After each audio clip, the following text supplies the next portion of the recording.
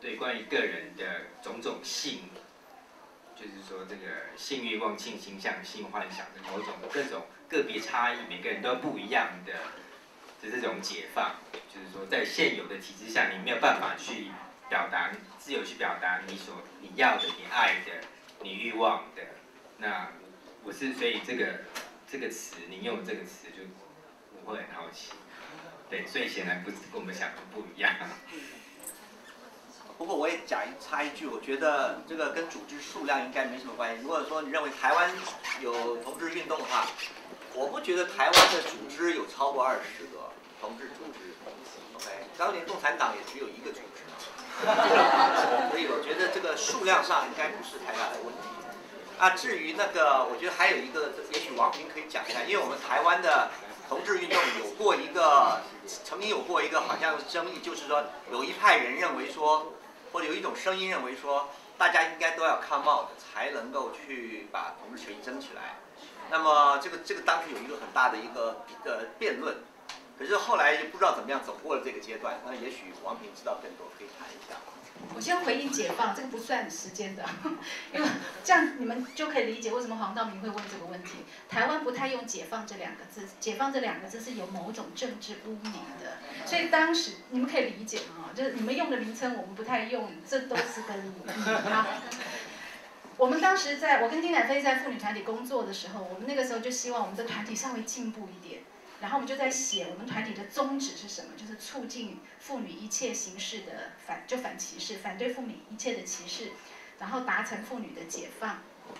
我们写的时候心里就开始开心的不得了，想说如果这个可以写上去，这个团体就可以继续工作下去。结果我们就拿到我们有一个 board member，就是那种董事会讨论，每个人什么都不看哦，就只看这两个字，说这两个字什么意思啊？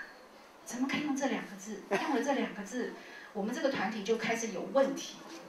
你可以想象，刚刚他听到你用“够解放”，就觉得你知道，我们又开心起来，觉得真的很解放。我很喜欢这两个字。那何老师不是有个性解放的这个言论嘛？这也是很糟的，在台湾也有点负面的。然后女性主义者开了一个记者会，写一个这么大的看板，上面写说：“情欲自主不等于性解放。”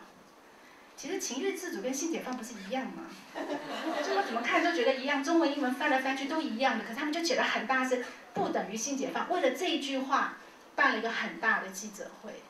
你就可以理解为什么要问。好，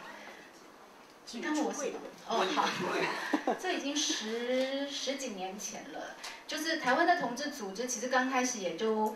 很小，而且其实因为我们是一九八七年解严，所以解严之前台湾是戒严的状态，也不太能够搞这个什么组织的。听到组织也是有点紧张，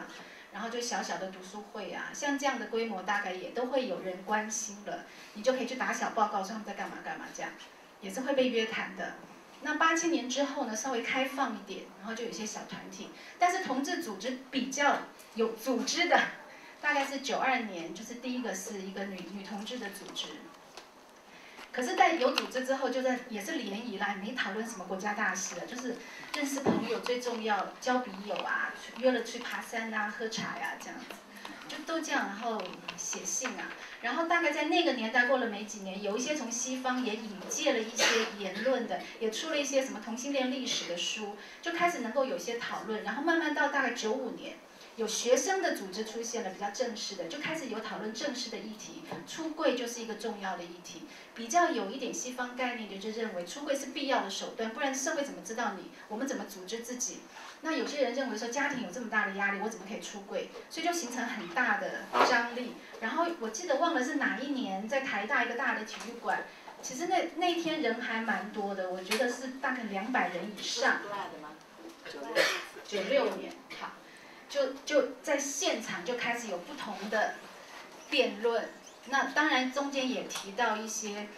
嗯，我们应该说我们是中国人嘛，因为在台湾很很难用这样的一个词汇，就说华人好了，就是在华人社会里面，家庭跟我们之间的关系是一个特殊的关系，而这个关系跟西方是不同的，所以那个出柜啊，有什么又有不同的想象，然后于是就发展，就那个辩论之后就一直有这样不同的声音，那后来又发展一个是说，我们反对个人出柜，我们要搞集体出柜。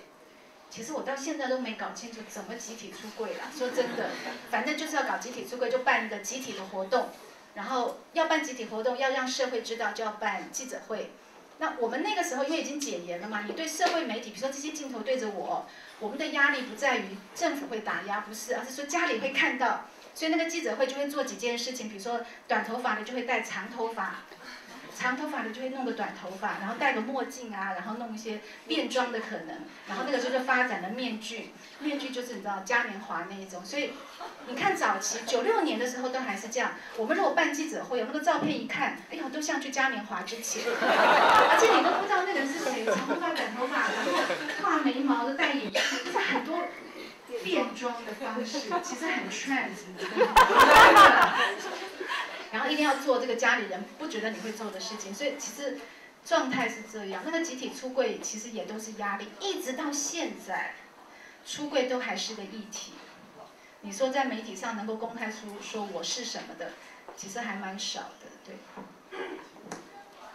我我也加一个小故事，就是说那个时候集体出柜的时候，他刚刚讲说戴面具啊什么东西的啊。就这样讲就好。那个呃，其实还有一点有意思的时候就是，嗯。有的时候有一些支持者，就是支持同性恋运动的人，呃，可能是异性恋或者什么，他们也戴面具。但是因为他们戴了面具以后，有的时候他可能真正同志，他反而不需要戴面具，因为大家都注意那几个戴面具，就说，哎，这几定一定是戴面具一定同志，至于不戴面具的人，一定是只是跑来支持的。哎，所以那个也很有意思。这个我可以讲。啊，好。讲。这个故事我在现场，我可以讲。其实是这样，就是说后来同志运动也不是，现在又泛称运动了哈。就是这些同志组织的发展，同志活动呢，就是有一年就是也是 Glad 在台大的门口办了一个舞会，那那个舞会呢就要要发媒体了。可是你也知道，大家同志如果说我们今天办个舞会又有媒体来，这肯定要戴面具的。所以主办单位就很贴心的准备好多面具在旁边，就跟那个远远来的中南部的乡亲说：“你来你来没问题，我们办一个活动，你们都一起来。你如果怕的话，我们这有面具帮你准备好。”然后就看到那个黑天了嘛，然后就角落啊、散步、树下，一个两个这样偷偷摸摸的要来戴面具了。那结果这个办活动，因为人在一起，有时候那个集体意识很奇怪，你会忘了你怎么回事，忘了你害怕，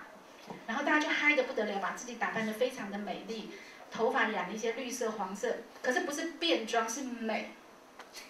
然后主办单位一堆人就嗨得不得了，媒体就来拍，他们就在镜头前面这样一直跳舞啊，就拍我拍我。然后就镜头都不理他们，就镜头就看到他们就没兴趣，就一直去扫射现场谁戴面具，就看那个中南部的乡亲好可怜哦，我就追着到处跑，跑到那个台大椰林大道黑黑的树下，我就想说天哪，就当你出柜的时候，你你好不容易有勇气讲说我们互相支持对方，我就出柜了，就没人理你耶，就觉得那个同性恋好不堪哦，怎么没人理你？拍你打扮的这么美，完全没有镜头要要理你，所这也是一个很有趣的跟社会的一种。很奇怪的互动，所以你出柜了，人家都不理你，这才叫生气呢。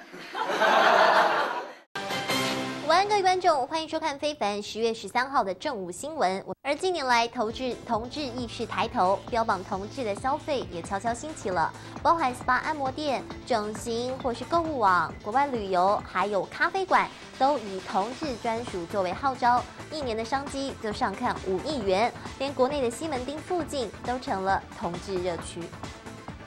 同志的恋情在过去是不能说的秘密，不过现代人观念开放，不止同性恋者渐渐发生，标榜同志的新消费形态也悄悄兴起，而且一年就有。五亿商机，包含了 SPA 按摩店、整形、购物网、国外旅游以及咖啡馆等，都是同志们肯花大把银子的消费场所。从泰国引进的同志 SPA 按摩店，两年前登陆台湾，全台已经有超过四十间的分店，以帅气阳光的按摩师在同志网站上大打广告，成为国外同志到台湾的必游胜地。而这些位在台北热门的店家，一个月的营业额就可以高达四五十万元。另外，台湾同志到国外旅游也是新热潮，以泰国、日本、普吉岛等有办电音派对的地点最令同志趋之若鹜。平均一个月超过二十人以上的同志团出发到泰国去，一个人团费是两万元，当地花费是一万五千元到两万元，消费力比一般的旅行团高出三成。除了国外，台北市区也是同志们的新天堂，像是国内某知名百货七楼，在网络上就被封为是同志乐区，还有西门町红楼广场的同志咖啡店、酒吧大量。出现也带动了红楼商机，一年就有三千万元。号召两万人的彩虹有够力台湾同。